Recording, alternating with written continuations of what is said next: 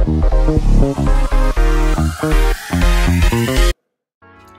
い、こんにちは。今日も動画を見ていただきましてありがとうございます。今日は、えヤマハの新作ワイヤレスイヤホン TWE の 7A をご紹介いたします。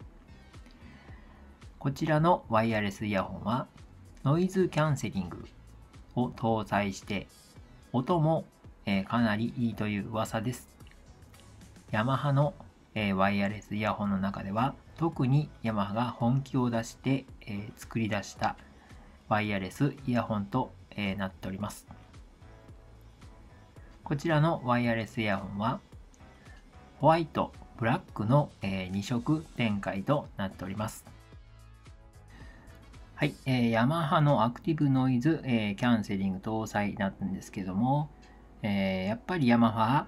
なんと音がいいので、まあ、音で勝負を仕掛けてくると思います。で、えー、このワイヤレスイヤホンのノイズキャンセリングの効果としては、まあ、一般的なノイズキャンセリングとは違い、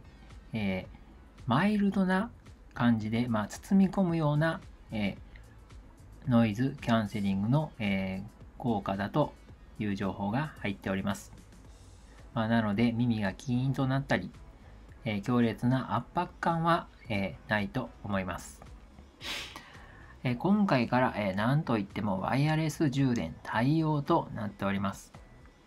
まあ、帰って置くだけの充電なのでとっても便利です。あとはアプリを使ってスマートに、え設定できるのもとってもいいと思います。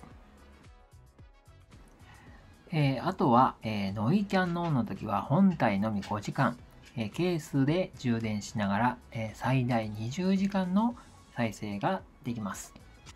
えあとは、えノイキャンを使わない場合は、え本体のみで7時間、えケースと、え一緒に充電しながらすると、ま、21時間の、え再生ができます。ま、これだけ使えると、え